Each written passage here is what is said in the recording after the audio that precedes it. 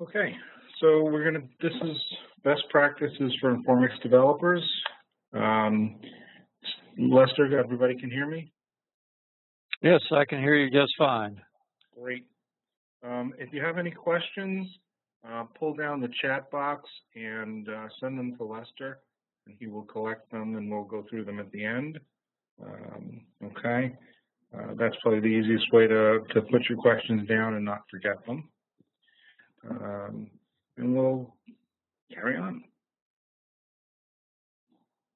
Yeah, and, and just a word, the chat box is in the, you should see that in the top right uh, corner of the uh, window. And uh, you can send the chat to either everyone or to uh, to me, and that way I'll collect them for art. Great.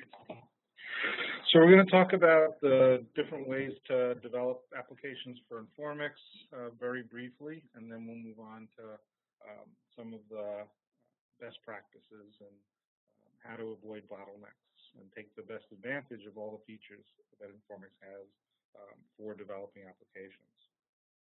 Yeah, Art, could you turn your volume up just a little bit, please? I can try.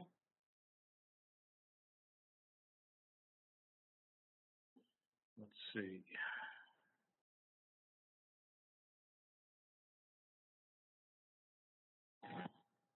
How's this? Uh, that's a little bit better. Thank you. You're welcome.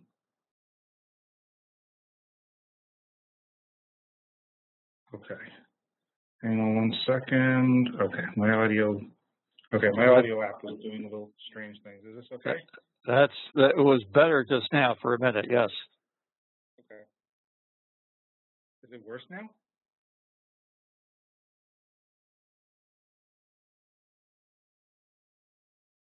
Okay, so um, we'll look we'll look real quick at, at different application development languages that work with Informix.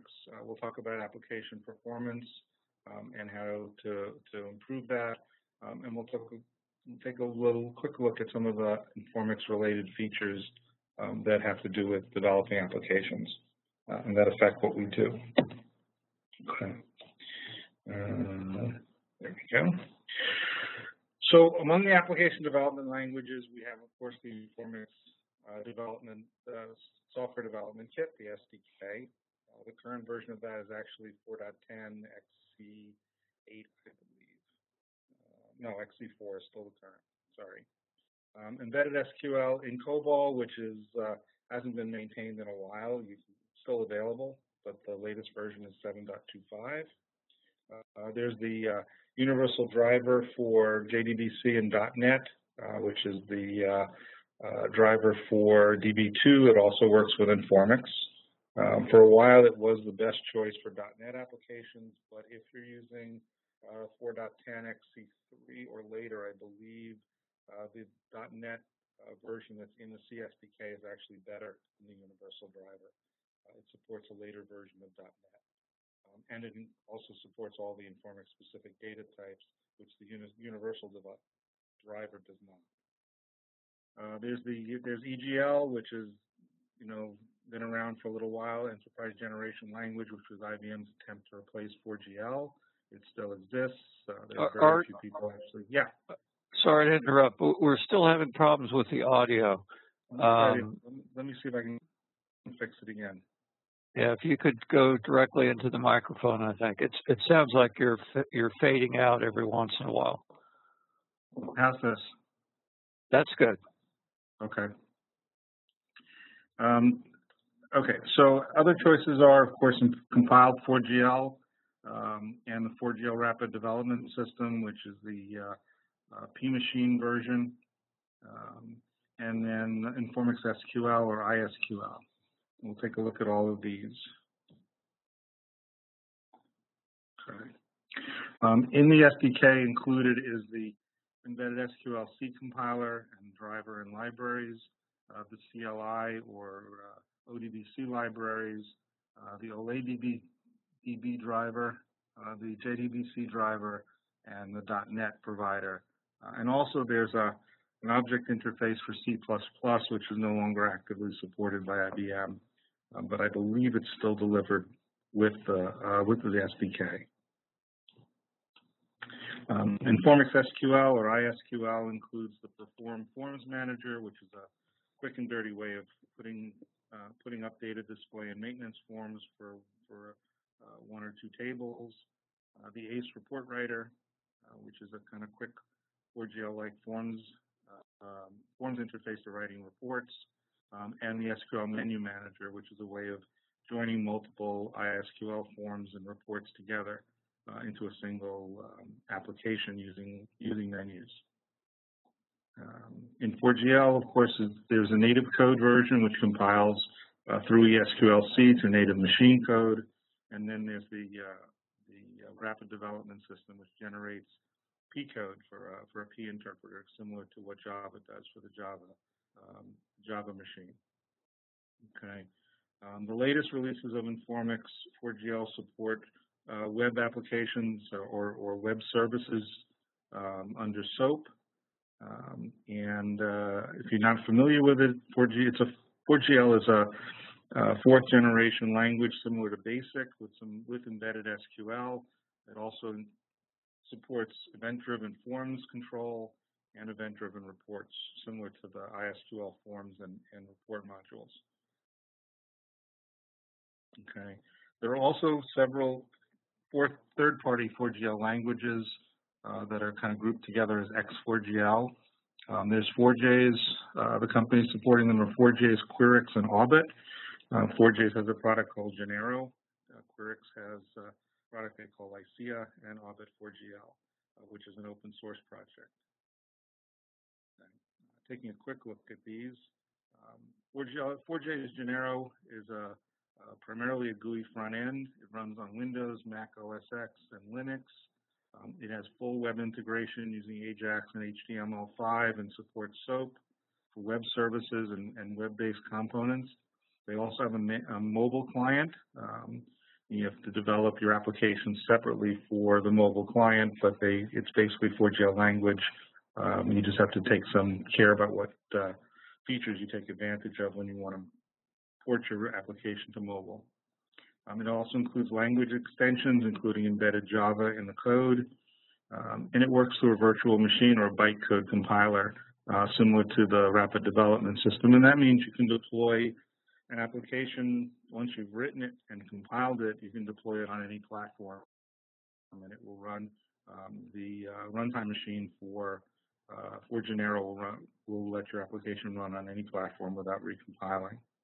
It supports also supports besides Informix most of the other uh, major develop, um, database systems, uh, although it doesn't do any SQL mapping. So if you want to port your application that you've written in 4GL for Informix to Oracle or uh, um, MS SQL Server, you may have to change some of the SQL. Uh, it includes a graphical report writer and uh, a graphical IDE that's tailored to 4GL. It's Eclipse-like, but it is a proprietary IDE. Okay. They also have an option to, to purchase a 4GL code generator, uh, similar to the 4Gen uh, code generators that were available in the past. Okay. Um, Querix's 4GL language, as I mentioned, is called Lycia. The current version is Lycia 2. Uh, the development workbench is Eclipse-based. It has a Comes with a window builder, which is a graphical form designer. Um, so you're not writing necessarily writing 4GL forms. Um, in the old way, it will import 4GL forms and, and bring them into the window builder. Uh, so you can use your existing forms. You don't have to start from scratch. Um, it comes with certain productivity tools. Uh, it works with CDS. It works with BIRT and Jasper report writers. Those are the report writers that it, it supports and comes with, in addition to 4GL reports. Um, it work it con contains an ESQLC compiler so that you can uh, write embedded SQLC um, and port it with their uh, with your 4GL code and link it together. Um, it also supports, uh, like 4J's Genero, it supports most other relational database systems. It does do dynamic SQL dialect conversion, which is not perfect, but um, may save you from having to rewrite some of your SQL if you port to a different database. It supports web, uh, Java, SOAP, and, REST, um, .NET, and, and SACS integration, so it works with most of the um, most of the web um, protocols that will allow it to produce or produce forms on the web. Um, it, the report writers, as I mentioned, are BIRT and Jasper. It comes with both, and it's integrated with them. If you're already familiar with one or the other, you can use that. Um, it includes own, its own language extensions, but it also supports the full Genero uh, extension set. Um, it, they have multiple graphical thin clients for desktop and for web um, and for mobile. Uh, in general, um, your apps will run on mobile without modification. Um, and it's really easy to write web services uh, in Lycia versus uh, classic 4GL. You just have to rename your function web underscore or whatever you want to call it, or wrap the existing function in a new function called web, web underscore, and uh, you can that will automatically port it as a web function and make it uh, displayable in a browser. Um, very easy. Aubit 4GL is the open source version of 4GL. Again, it supports most rapid, most uh, relational databases. Um, it has very good 4GL compatible source compatibility, as do Genero and Lycia. Um, it supports character, XML, and GUI interfaces. Uh, it has its own PDF-based report writer. Uh, it has its own language extensions um, to, to give you more flexibility for developing graphical applications. Uh, you can embed C and ESQL-C in the code um, as you can with Lycia and Genero. Um, it has uh, does have dynamic SQL conversion, um, and that's customizable. There's a set of, of, config files that you can use to modify the way it converts SQL. Um, so again, you may not have to rewrite some of your SQL if you're porting. It is open source and free to develop and distribute. There is commercial support available uh, from Aubit. Um, and uh, it comes with many tools, including an ISQL-like forms and reports um, environment that you can compile and run. It's all written in 4GL. Uh, it comes with a portable DB Access clone, although the latest versions of the CSDK uh, do um, deliver with DB Access for your client machines, um, which is fairly new. Okay. Um, Informix is also supported by many scripting languages. Uh, there's Perl with the DVD, DBI interface uh, that Jonathan Leffler still maintains. Uh, hey, Art, uh, yeah. before we go, we're, the volume is really fading in and out. I'm, and it's it's the only microphone I have. Well, it's almost like you're moving away, back and forth, closer and away from the microphone. I'm right here. Um, okay, folks, I'm sorry about the audio, but we'll we'll keep giving it a try. I'm sorry. How am I right now? Uh, you're good right now. Okay. I'll try but it's it it's it's been fading in and out, and there are a lot of comments about that. I'm sorry, guys. Um, my headset went on the fritz this morning, and so I'm I'm stuck with the built-in microphones. Um, okay. Um, anyway, other scripting environments, uh, Informix works with Ruby. There is a Ruby library support for Informix. There's PHP support, and Python, and even Go um, supports Informix as a database. Um, you also, Informix also comes, version 12 comes with a MongoDB wire listener. Um, so you can use any mean stack applications uh, to talk to an Informix database, whether you're accessing JSON uh, tables or regular relational tables, and we'll talk about that a little bit. Um, there are also library level uh, APIs for C and C++ and cPound, et cetera. Uh, so anything that talks to Mongo can also talk to Informix. Um, so you're not limited to the traditional Informix environments for development. Okay. Um, there's also a REST protocol listener, um, and that will allow you to write within the right applications to run on Informix with any development tool that supports HTML. Okay. So let's go on and get to what we started, what we came to talk about, kind of a, a review. When you're inserting a large number of rows into Informix, it's always best. Uh, you have basically have three choices. You can have a singleton insert, uh, that you, you know, generate one for each row, insert, insert, insert. Uh, you can have a prepared insert statement with replaceable parameters that you execute over and over again, um, replacing the values with different values. Or the best choice is to have create an insert cursor, or what's called a put cursor. Um, and as it shows here, you declare a cursor for your insert statement with replaceable parameters, open the cursor, and then in a loop, uh, exec SQL put. So you do a put on the cursor name for, with the variables for each record. Uh, that gets buffered um, in the application in the library, and when the buffer fills up, or when you manually execute an SQL flush, uh, the buffer gets pushed to the database. Um, if you're flushing with every record, it's the same as, as doing a, um, an execute of a prepared statement over and over again. But if you let the buffer fill, um, that can run much faster as you're pushing large numbers of records with a single network communication. Okay. After the flush, which either happens automatically or when you when the buffer fills or when you um, do an exec SQL flush, um, SQLCA structure will return the number of records that were actually flushed. So you can check after each put, and it will usually return zero because the record is going into the um, is going into the, the buffer, um, but it, and not being flushed. At some point, you'll see the buffer flush, and the SQL exec, sub 2 will return the number of records that were flushed. Okay. Um, you can increase the performance of your insert cursors um, by increasing the size of that flush, that um, put cursor, that put buffer. The default buffer size is 4K, uh, and it can vary from 4, 4K up to uh, um, up to 2 gigabytes. Okay, uh, and you can set that with the environment variable fet underscore buff underscore size. There's also a global variable in ESQLC called fet, buff size, but that's still only a 16-bit value. So um, IBM has never increased the size of that, so you have to use the environment variable if you want to set up a communication buffer size that's wider than 32K.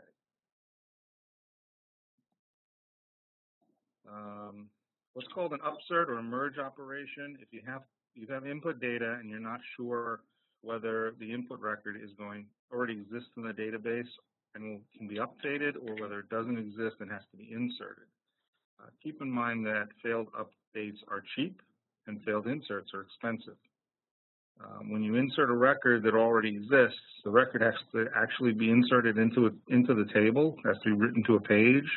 The page has to be written to the buffer cache, uh, and then all of the indexes have to be updated until we come to a to a unique index that causes the insert to fail um, a primary key or even a secondary key that causes the insert to fail.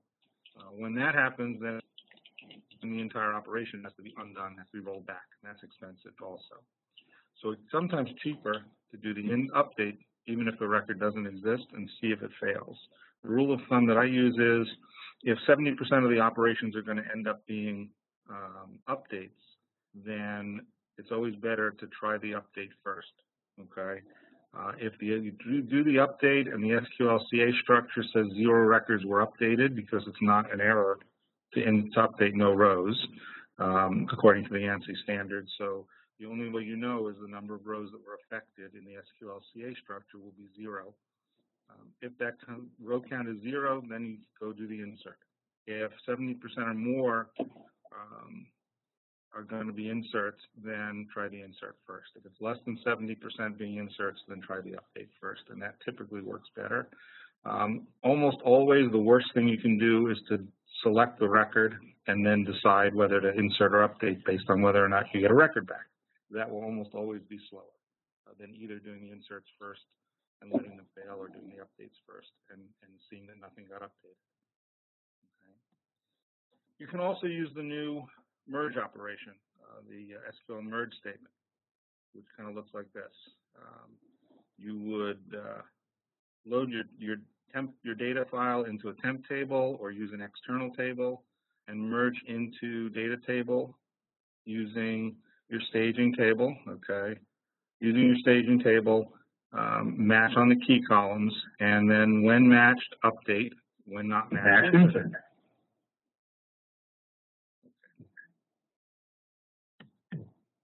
Um, if, um, you're if you're not, not please mute yourself so you're not echoing back. Um, okay, our next subject is lock contention. Uh, one of the biggest things that can affect performance of an application is lock contention. And one of the best ways to avoid lock contention is to use what we call optimistic locking uh, protocols. Um, we call them optimistic because we make the assumption that no two users normally will be modifying the same row at the same time, right? Sometimes that's a perfectly good assumption, sometimes it's not. Um, an example of when it will tend to work um, is like an insurance application, right? In an insurance company, some only one person is going to be working on a case at a time. And it's unlikely that more than one person will work on a particular case at a time. Um, the other, the all opposite the opposite condition would be like a banking application, right? It's entirely possible for myself and my wife to go to ATMs in different cities at, at nearly the same time and try and get money out of our account. Um, and that's a, a, possibility, and so we need to make sure that, that we don't clash. So if it happens that two people are modifying the same record at the same time, then we need to deal with it at that point. And that's the basis of optimistic locking, is assume that nobody's going to do that, uh, there are only going to be one updater at a time, and then at some point decide before committing the row whether or not the record has been changed by somebody else, uh, and then commit the change. Okay, and that reduces lock contention tremendously because we don't lock the record immediately, right? Um, in the, the inverse of this, or pessimistic locking, you lock the row right away because pessimistically you're going to assume that somebody else might try to update the row, so we want to lock them out and that causes much higher lock contention than an optimistic protocol. Um, so the way we do that, okay, um, here we go. So the way we do that is to fetch the row without a lock, so don't use a for update clause. Um, that way, if the user pulls the record up on his desktop and goes out for lunch, you don't have a record that's locked for an hour or worse, goes away for the weekend and you have a record that's locked for three or four days. Um, present the copy of the row for the user to modify. Fetch the current stored version of the row with a lock after the user has changed the data. So the user gets the record, we put it on the screen, we don't lock it. We let the user play with the record and make whatever changes he needs to make.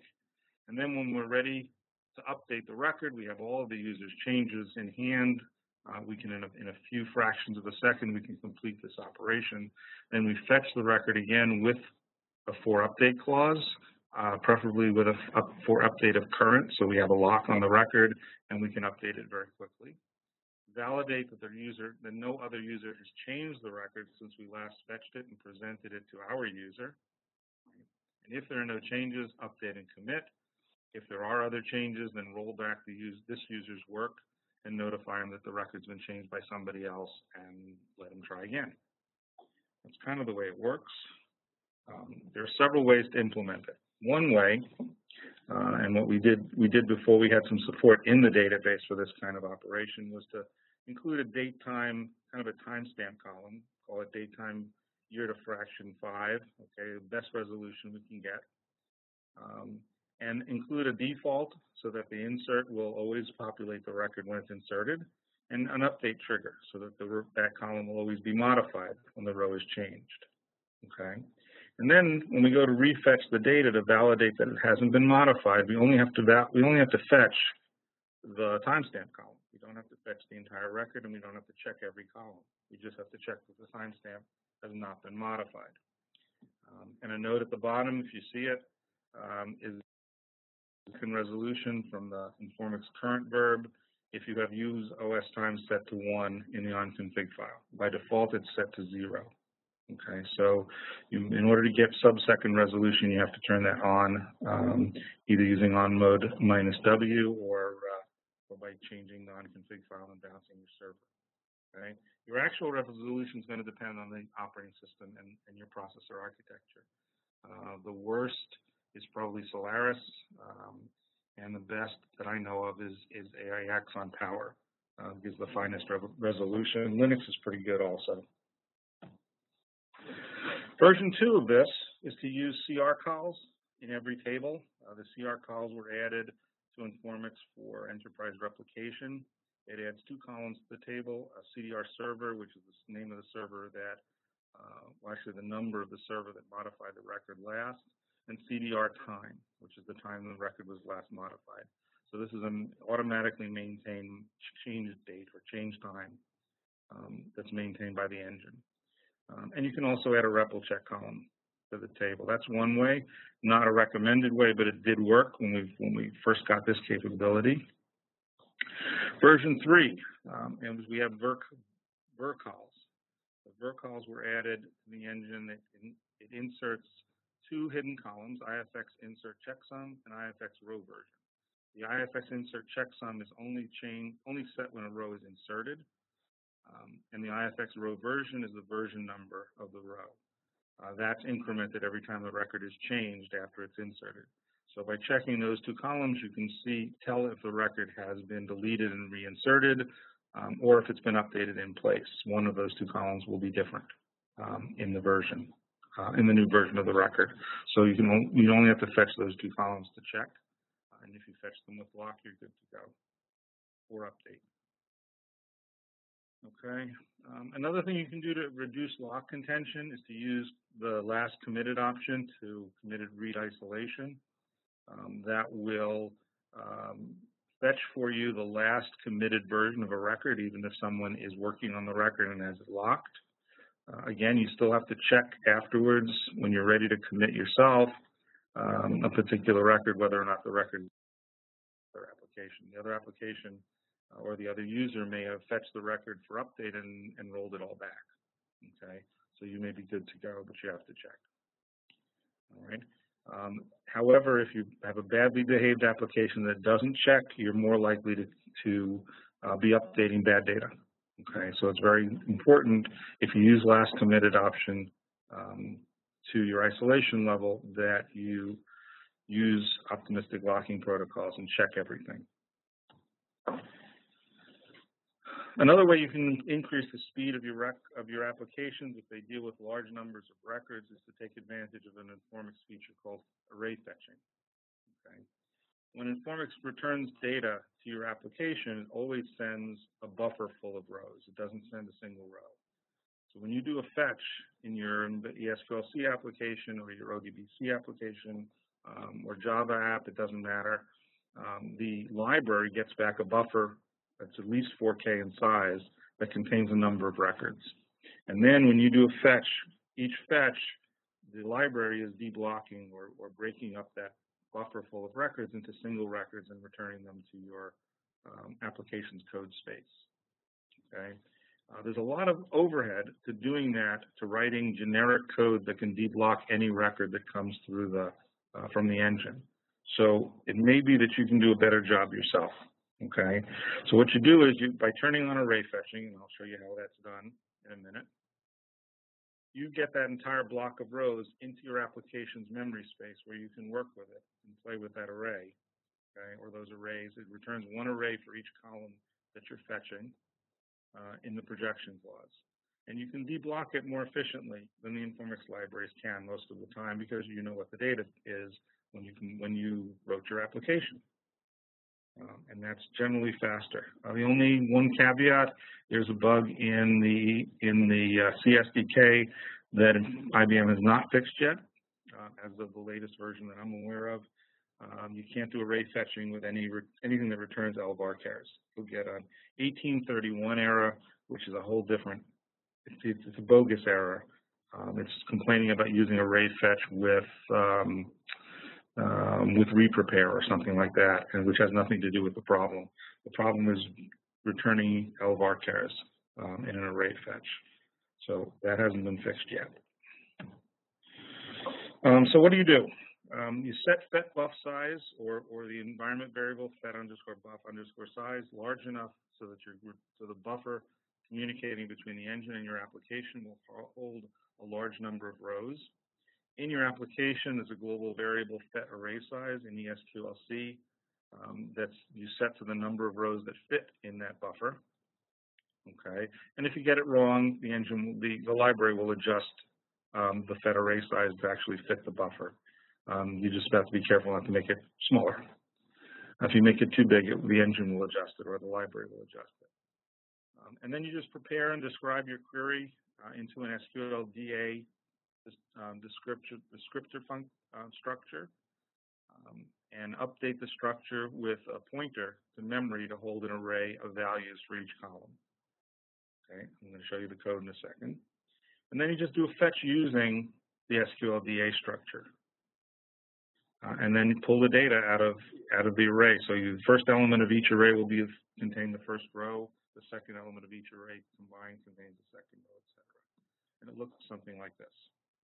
So set buff size to 32765, set uh, set fetch array size to set buff size divided by the row width. Right, prepare my statement. So here we're selecting tab ID and tab name from systables. Um, and then describe my statement into SQLDA underscore structure. Uh, and then for each SQL data substructure in the SQL var structure, um, we assign, we do a malloc to allocate memory for that column of data um, that has fed array size number of elements in it. Okay, so each uh, tab ID is an int, each uh, tab name is a is a, a char 128, but we need room for the null value, um, so we make it 129.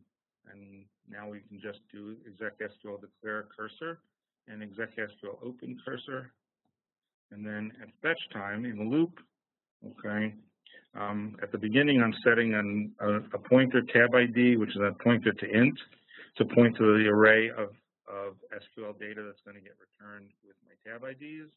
And I set tab NM, uh, which is a pointer to an array of 129 character strings um, to my SQL DA that was allocated for the tab names and then fetch my curse using descriptor colon SQLDA underscore str. Um, and if, like usual, if SQL code is 100, there are no more records I can break. Um, and actually, you do you want to actually process the uh, the records that are in the array. So we check them SQL ERD sub 2 tells us how many rows were returned, and we can loop on that and process the data for each row. Okay that's returned. There are a couple of optimizations you can take advantage of that are controlled outside of your application by environment variables. Um, one is the deferred prepare. Okay, uh, you can either use the SQL command set deferred prepare enabled, um, or in your environment export ifx defer prepared uh, prepare equals one uh, and set that variable. Either way, uh, what that does is it defers the actual operation of a prepare statement until you execute the, the statement or, or open a cursor against it or declare a cursor against it. So when you execute the prepare, it will always return an SQL code of zero because it doesn't do anything except make a note that it has to prepare the statement later. Uh, and then when you do, when you open a cursor or uh, um, or execute the statement uh, ID that came back, uh, at that point it will actually prepare the statement. Um, so you need to move some of your error checking around. If you do this, instead of error checking after the prepare, you have to error check after the open or the execute um, more rigorously. Okay. Um, it can reduce the number of round trips between the application and the server. Um, not much gain if you take a statement and prepare it once and reuse it many times. Um, but um, okay, but uh, since the prepare doesn't happen until you open it, then describes have to be executed after the open, not after the prepare. Okay. Um. Also, any any syntax errors, undefined object errors, things like that, um, will not show up until you open. They won't show up at the SQL prepare. Okay. And as noted by the 1831 error, which was bogus before, you will get that same error if you try and do a deferred prepare and a fetch with a, a fetch array while deferred prepare is, is enabled. You can't use them together. Okay. The next one is open fetch close optimization. You can set the environment variable OPT OF, OFC equals one, and that enables open fetch close optimization, um, which defers the actual opening of the cursor until the first fetch. Okay, so the cursor is not, nothing happens when you declare and open the cursor. But when you execute the first fetch statement, there the cursor is actually created and opened. Okay. Also, the cursor will automatically close when the cursor has been drained. So when you fetch the last record, uh, and the next record would return a, an SQL code of 100. That's when the cursor gets closed automatically. You don't have to you don't have to execute a closed cursor. Okay. Um, you can also def combine deferred prepare and uh, open fetch close optimization, in which case nothing happens until the first fetch. Okay. Um, so, so if you're doing dynamic SQL, your describes then would have to follow the fetch uh, and not the uh, prepare or the open. Okay, kind of weird, and that's kind of a little late to my mind to be describing your statement, but that's the way it works. Um. Again, you can't use fetch array with open fetch close optimization. Okay. Also, closing the cursor, since it closes automatically, it will also be freed, and that means you can't reopen the cursor. You have to go redeclare it. Um, so you, some of your, you can't just turn this on um, and expect your application to continue to work the, the way they currently do. Um, some of your semantics have to, may have to be changed in the way your applications work, um, but it can be faster. Um, simple large objects. So we're talking about text and byte type columns. Okay. You have three options when you fetch the data or for a text or a byte column, or when you insert data to fetch to text or byte. And those are fetch to memory or insert from memory, fetch to a file or a file descriptor, or insert from a file or a file descriptor, and fetch using what are called user-defined user functions, okay, uh, where you define a set of open, read, or write, and close functions um, to process the data uh, and hand it to the to the engine. Okay. Um, it turns out that the slowest of these is fetching a memory, and the fastest is using user-defined functions uh, with using files or file descriptors somewhere in between kind of counterintuitive, but that's the way it works in every time I've tested it for many years. So here's how you do um, do fetches of, of blob data with user-defined functions. Okay, describe the structure, the statement, and you get your your SQLDA structure. In the SQLDA structure, um, for the blob column, there'll be a loc t structure. Okay, um, you set the loc loc type field in the loc t structure for the blob column to loc underscore user. That's a define. Okay. And you also need to create a loc open function and a loc read function for inserts or a loc write function for selects. Kind of the names are counterintuitive, right? I would think you read to select and write to insert, but it's not. It goes the other way around. Um, and you need a close function, a loc close function to clean up and finalize blob handling for inserts. Um, so what you need to do looks something like this. Um, this would be an, is an open open function. This is actually the open function from my dbcopy utility. Looks very simple. Doesn't have to do much. Sets up some some data structures that I use in the application. Okay. This is the write it function, which is used to fetch data for a blob out of the database. Okay. Um, here we just basically passes in the loc t structure gets passed in by the engine, um, a buffer pointer containing uh, a number of bytes from the from the blob, and the and, and n bytes contains the number of bytes that were transferred. It almost always transfers 2k of data, um, except for the last bit, um, but you need to check that. So what I've done here is I'm using bpos and nbytes uh, to decide whether I have to expand my internal buffer that contains the blob data. Um, so you might see you see a realloc there if, if the data is bigger than the buffer I already have from let's say a previous record. Um, okay, I keep track of how many rec how many bytes are being read. Okay, from the loc underscore for count in the loc t structure. Um, all right and then copy the data into my own buffer out of the incoming buffer uh, with the mem copy. Uh, do a little housekeeping and return the number records, number of bytes that I processed, uh, which should be the number of bytes that were read. Okay. If not, you'll get an error. All right, a readit function looks similar. This is how we input data. Right, I'm just here just use memcopy to copy the data out of my buffer and into the buff pointer that was passed in by the engine or by the library. um, keep track of where I am positioned uh, in my structure for the next the next time read it is called. And read it or write it will be called over and over again until the entire blob is transferred. Uh, and then the engine will call the close it function. And that just does internal cleanup. The engine doesn't care really what you do here, uh, but you just clean up your own data structures and get ready for the next record. Uh, if it's a multi-record fetch. Okay.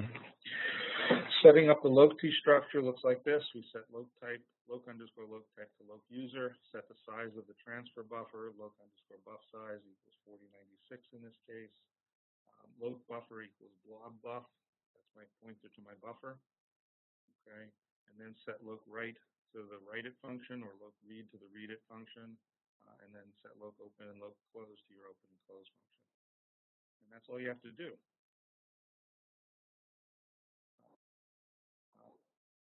For blobs and clobs, your smart large objects, there are a set of library functions that deal with the same kinds of things. Uh, they already exist, um, and they will process an entire blob or a subset of the blob. Uh, you can use the IFX low read with seek um, to get data back from the uh, from a slob um, with uh, from a particular subset of the of the blob um, and fetch back some of the data. So I'm not going to go into detail about that. Um, so we'll talk, let's talk a little bit about SPL. Um, SPL stored procedure language is very efficient for running SQL, but it's not particularly efficient or fast for doing complex calculations um, or for running deeply nested uh, function calls. If you're calling uh, either recursively or non-recursively more than four or five levels deep, um, the SPL will start to get slow. Um, so you need to carefully plan um, how your stored procedures are, are, structured and how they call each other um, if you're getting into more complex um, sets of uh, nested or, or related functions. Okay. Uh, dynamic SQL and stored procedures work particularly well. Uh, they're just as fast as, as non-dynamic um, queries, um, so don't shy away from them.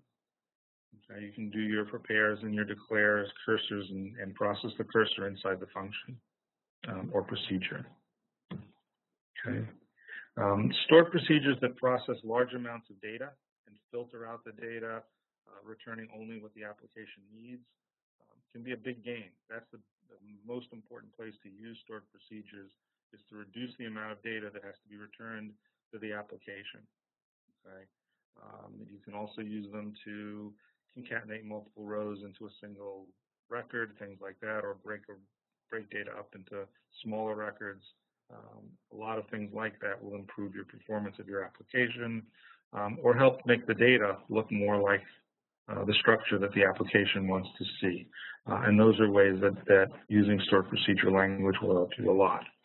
Using it to do a lot of complex calculations is probably a bad idea and those things should probably be written in, if you want to move them into the server and write them as UDTs, as user, uh, UDFs, user-defined functions, uh, then you want to write them in Java or in C, okay, or ESQLC. Um, disconnecting the application from the data. When I was learning programming, right, we were the hot buzzwords were, were structured programming, and the thing that we wanted, we talked about a lot was disconnecting um, the application from the data uh, in such a way that you didn't have dependencies between modules. If the more dependencies there are between modules, the more within the code you had a possibility of making changes in one place, causing errors and bugs in some completely different place, uh, and making life difficult to debug. The same thing happens between an application and the database and the schema. Okay. So what we want to do is, as much as possible, disconnect the application and its view of the data from the database's view of the data. And that allows us to change the schema and hide those changes from the application from the client code as much as possible. Um, okay, it's very important, especially for mobile applications where you may have multiple versions of your app uh, out in the field um, all at the same time, and yet your schema is changing under the hood. The more we disconnect that app uh, from the schema, the easier life gets. Uh, when I was at Bloomberg, we moved code twice a week. Uh, and we were only able to do that because we were very careful to make sure that there was very little connection between the schema and the application. The application had its view of the data, the schema had its view of the data, and in between um, we had a layer of middleware that, that hid one from the other. Okay, so we could update the schema. I could update the schema on Friday, and when new code moved on Saturday, uh, everything was fine. And if it didn't move on Saturday, it was no big deal because we already knew it was still working on Friday. Um, same thing would happen every Wednesday when we moved fixes to, to bugs that were moved on Saturday um, and some new code as well. Okay. Um, carefully written dynamic SQL can help you to do that. One of the things that you can do, um, dynamic SQL determines the types and the number of columns at runtime. So it can produce a more uh, flexible application on the application side. But if you don't do it carefully, it can also create even more um, linkage or, or, or coherent or connectivity between the schema and the application uh, in a different way, right? If your dynamic SQL return is is returning seven columns and the schema changes so that it only detects six columns now, um, your code needs to be flexible enough to say, oh, I only got back these six columns. I didn't get back that one. I have to put a default in that um, element of the data structure, um, or your application is going to break. So yes, it can. It's one way that you can make your applications more flexible. It's also a new way to break them if you're not careful. Um, this is a chart I put together many years ago, um, and it goes from from one to, to five, from the lowest level of interdependency to the highest level of interdependency. Um, if all of your SQL and related business logic is encapsulated in stored procedures, right, and they're and they're returning data structures that are mapped to your application, then changing the schema is easy. You change the schema, you change the stored procedure, the application doesn't have to change. Right? If the application changes, we write a new stored procedure to return the new version of the data structure. And the schema doesn't necessarily have to change, right? Or it can, but it doesn't have to. And we don't have to worry that we have to move schema changes in lock sync with application changes. Okay, if the application has to move before the schema moves, um, that's not an issue. Right? As long as we move one and we have the, the mappings in place in the stored procedures or somewhere, then everything will continue to work. And if we have to roll something back, if the application has to roll back, that's going to continue to work with the old version of the stored procedure. Okay. Same thing with middleware. If you can encapsulate your business logic in middleware, that disconnects the application from the database again, and all the interdependencies exist in the middleware. And again, we don't have to necessarily move schema changes in lockstep with the application. Okay. Um, so moving on. And that's about it think we're ready for questions.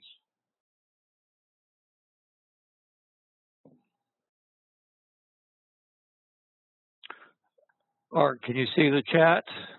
I'm pulling it up now.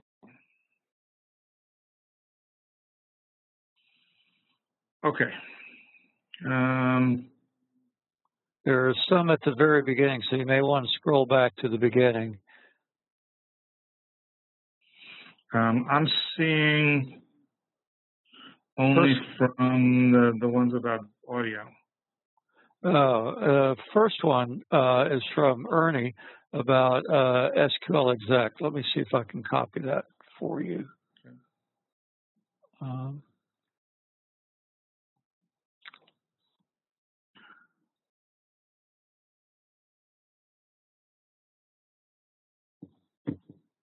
okay. Okay. Um, uncommented VP class.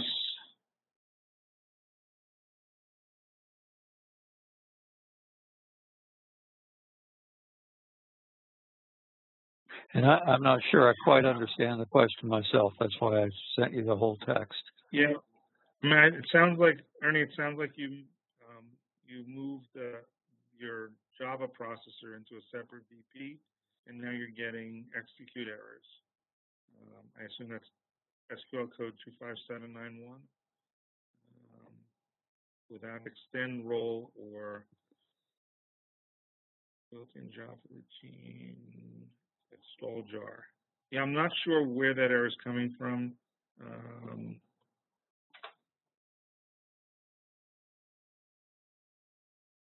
I'm making a note to myself.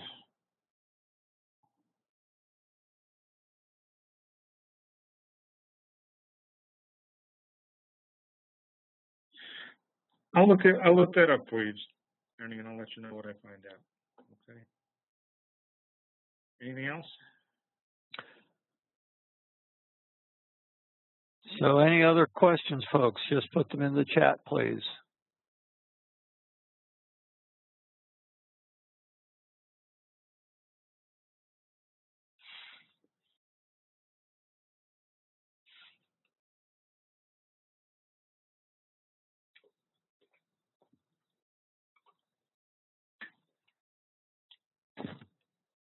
I think that's it, Art. All right. So I want to thank uh, Lester and, and, Advanced Data Tools for, for providing this forum for us. Um, and uh, Lester, I think you you know when the, you, are starting to plan out the next uh, uh of our webcasts. Yeah, let me. Uh, can I bring up a slide um, before I do? There's this last slide has Art's contact information. And uh, we will uh, try and put uh, this presentation up on YouTube with our other presentations uh, that have been done over the last four or five years. Uh, it'll probably take a couple of days because uh, I want to I want to see if I can get the audio smoothed out a little bit. Um, let me talk about the next